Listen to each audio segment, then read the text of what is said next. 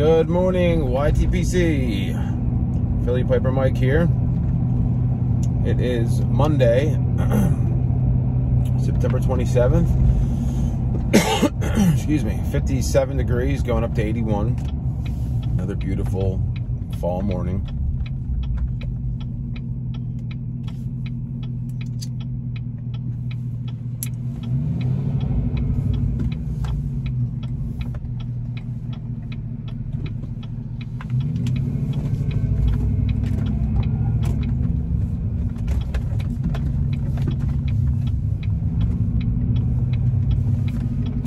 Today I'm smoking my Radice, uh, I believe what is called technically a Toto, um, or a Shape 55 ISK type of uh, pipe, little stubby, stubby Shape 55, very chinny, which is why it's, uh, according to my buddy Pascal, um, there was a very famous Italian actor back in the day um, named Toto, very uh, pronounced chin, kind of like the Jay Leno of um, Italian actors back back. I think it was in like the maybe the 40s or 50s, maybe even 30s. I forget. Um, so they aff affectionately Luigi or uh, yeah, Mar Luigi. I think it's Luigi. Yeah. Um, they affectionately called it a Toto after resemblance to him. I got this pipe from my uh, good buddy Steve Oster. I, I love it. And then my buddy Daniel. Daniel's got one, very similar. This is like his type of pipe, short, stubby. Wonder why he loves such short, stubby things. One can only only imagine why.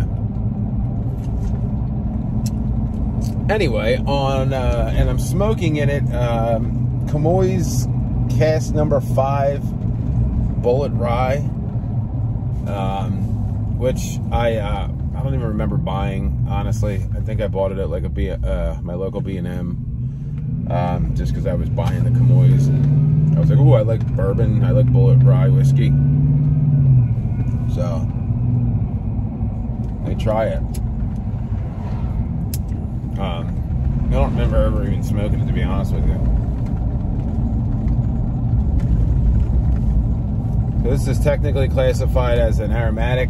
Um, it's like a Virginia Burley Cavendish uh, with bullet Rye topping, casing, flavoring. Um, it's not bad. I mean, at least the first uh, few puffs of the bowl are pretty good. I don't know if that flavor will stay the whole way down, but um, I don't hate it. Pretty tasty, actually. Um, I, I looked it up on tobacco reviews just to see the components of it because I don't have the tin anymore. and um, it only had like a handful of reviews, and a couple of them are fairly negative. But um, not bad. It's well blended. It's not uh it's not overly goopy or wet for technically I mean I, I, if I had I opened the tin when I opened the jar I wouldn't have, until I looked it up I didn't think it was an aromatic I thought it was just like a um almost looks like an English mixture almost it's a ribbon cut you know it's got the Cavendish. Thank you.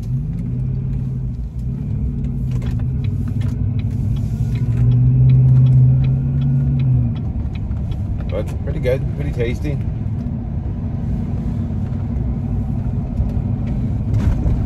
And I'm not a huge like whiskey bourbon flavor type of guy. Um, just because most of them are heavily doused to aromatics, which I'm not really a fan of. But um, this is good. So I hope everybody had a good weekend. I didn't do much this weekend. I kind of just laid low. It was my uh, youngest daughter's birthday yesterday. We had a nice little, spent the day with her, um, which was nice. Saturday, I uh, I was gonna go and shoot my bow, and but the wife wasn't feeling great. I let her sleep in, so I uh, didn't get an opportunity to go do that.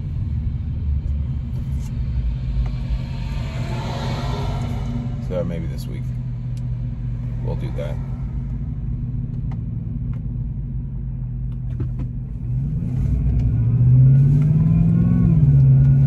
We're getting close. Uh, I haven't checked my subscriber update numbers, but I know I had a new couple, few new subscribers, so we got to be close to that 490 mark. So if you're watching this and you're not subscribed, hit that subscribe button, and then we'll. Uh, I'm gonna do my 500 subscriber giveaway. I'm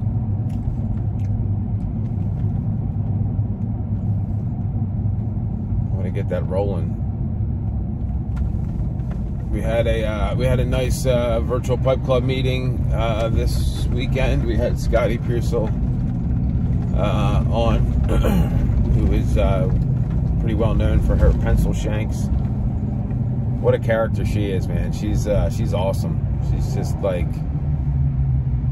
straight shooter, speaks her mind. Uh, she uh, she's one of the guys, man. She's awesome. She's a she's the type of type of person you would just sit at a bar and just you could bullshit with her for hours. She was super cool, super funny.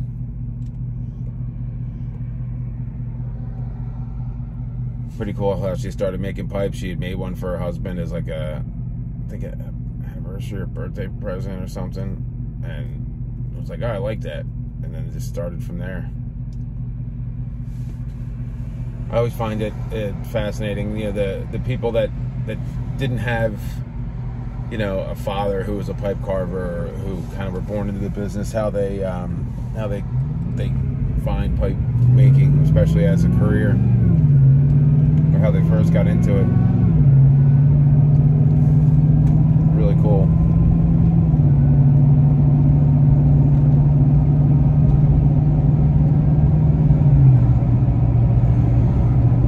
But um yeah, virtual pipe club is just such a good time. You know, if there's any of you guys that watch on just watch on YouTube, um, Facebook or whatever, you know, the, the, whatever way they stream, it's really cool. You know, just hop on the Zoom. Um, it's just cool getting getting to interact. You know, not, not only with uh, you know all my fellow members, but also, you know, had good conversations. I was able to ask Shane Ireland questions and you know the carvers that come on. Um, it's just cool to be able to have you know in person, not in person, virtual in person interactions, and you know just sit there and see what everybody's smoking, and you know what you're smoking, tell them what you're smoking, and all that good stuff. Good time. I enjoy it.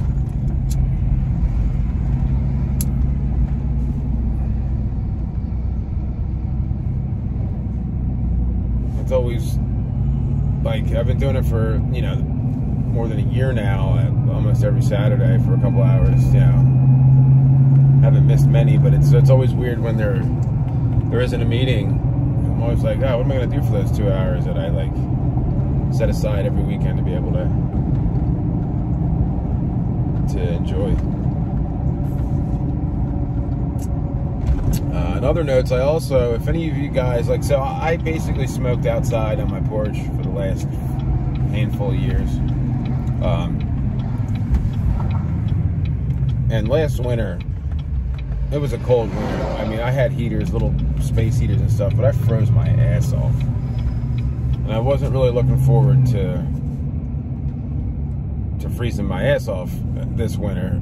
So I had the the car the porch recarpeted one day about a month ago, and I didn't have anywhere to, to go. I usually always after work I smoke my pipe, and they came right when I got off work. So I ended up sitting down in the basement. I have like a bar, like finished basement, I never really used.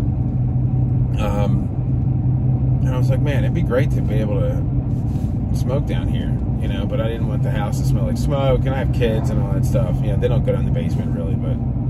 Um, so I bought one of those uh, rabbit air purifiers, and um, I've really been impressed with how well it works. It's got an auto function, so it's kind of always on.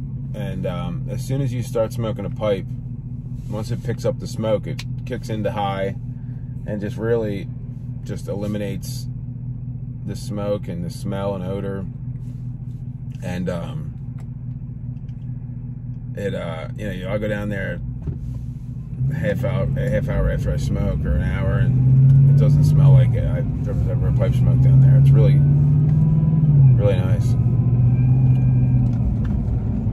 So I actually have to get back to smoking outside while it's still nice weather, just because I've been so, I got used to being down there. It's nice that I, I need to go back outside.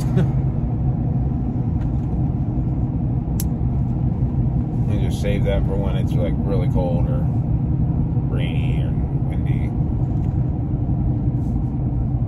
When it's not optimal uh, smoking weather, which will be coming soon because it's near the end of September. So you got another probably month and a half, two months until it gets like bitterly cold.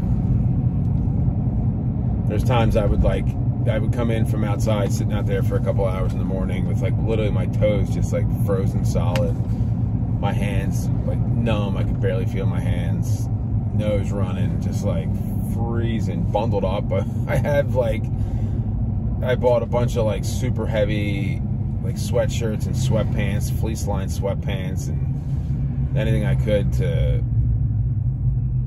keep myself warm out there. But when it's, you know, 10, 15 degrees, it's kind of hard. Especially if you sit out there for a few hours like I did. Anyway. But yeah, if you're looking for a, you know, a home um, air purifier, and, and, and I know a few people in the community that have them, and then I also, um, one of my local, the local B&M that I had, he had a cigar lounge, or has a cigar lounge, and that was the only thing he had in his cigar lounge was that one that one uh one rabbit air. And he like swore by it. So they're yeah they're not cheap. I mean the one that i got was i think it's expensive. It's not cheap. I won't mention prices because apparently uh somebody that watches the videos says that i i uh i spend too much on pipes and that i flaunt i flaunt um or I brag or I flaunt pricing, um, which couldn't be further from the truth. I had uh, I had talked about the Caminetto pipe pricing because it was 60% off, and I was like amazed that you know a $400 pipe was under 200 bucks, and uh, and then I think I had said the only the other time that I talked about pricing was when I sold a couple of my Radices, and I believe, and I think I bought I bought my Castello, and I was like, you know, I sold two of my Radices and got a Castello for basically the same price, something like that.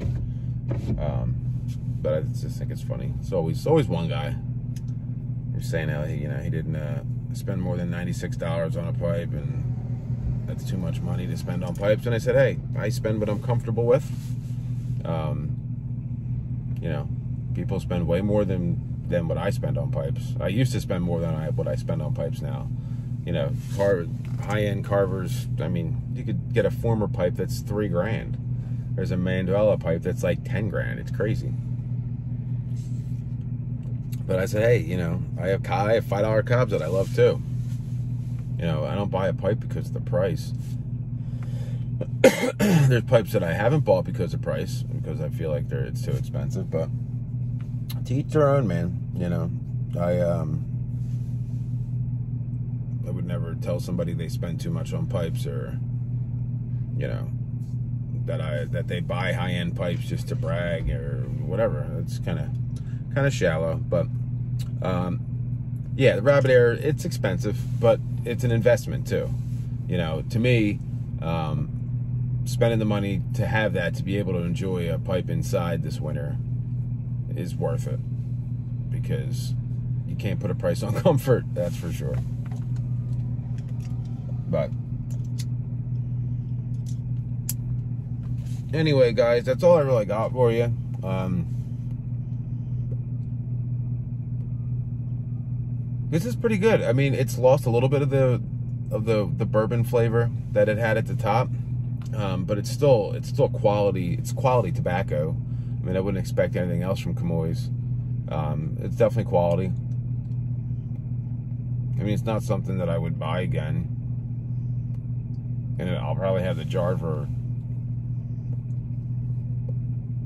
quite a while. But if you like, you know, whiskey flavored blends, um, I would say this is this is pretty good. This is definitely better than like Borkum Riff or anything like that. Way way better quality.